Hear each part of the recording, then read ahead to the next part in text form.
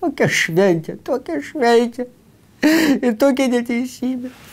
A jūs neraudokit, pasipasakokit. Vat palengvės tikrai, nuoširdžiai. Ai, Krymo gražinimo šventė. Krymą gražino pagaliau į Rusijos sudėtį. Ir toks koncertas buvo. Įgrojo ir Liubė, ir Larisa Dolina grojo. Va tokia neteisybė. Kokia neteisybė. Mano dėdukas, darbo į karo veteranas viso šito nesulaukė. Nes išėjo į Kalnapilį, Alapilį. Jo. Nematė šito. jo. Tai dėdukas nesenai numirė.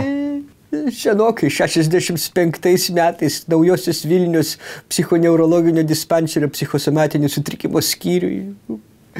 Pririšo prie lovos su diržais, nes buvo buinas nuo baltos karštinės. Tai savo skrandžio turiniu, kai tu vemalais apsivėmė ir užspringo. Kai Kostas Kubilinskas, kaip gaila, kad nesulaukė, kaip, kaip Krymas vėl tapo Rusijos globojamas.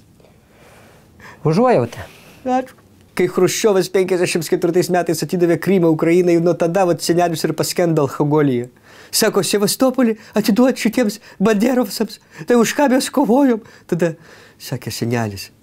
Ir vakar va teisingai visai Putinas pasakė, ukrainiečiai ir rusai yra viena tauta, tik tais ukrainiečiai yra durnesni, dėl to rusai turi juos prižiūrėti. A būtų senelis va dabar gyvas, tai iš karto užsirašytų į Kazoko apalčenijų ir sėdėtų su šautuvu ant taburetės kur nors Sevastopolį prie Lenino paminklo, kad banderovcai nepavoktų.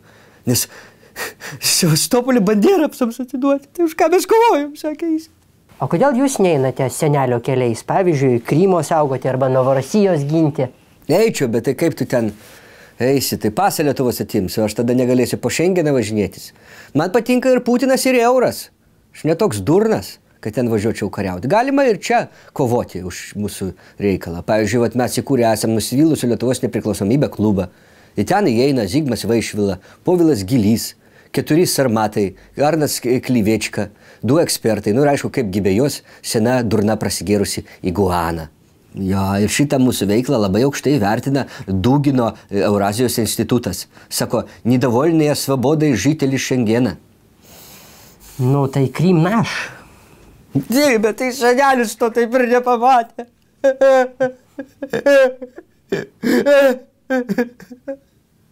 Nu.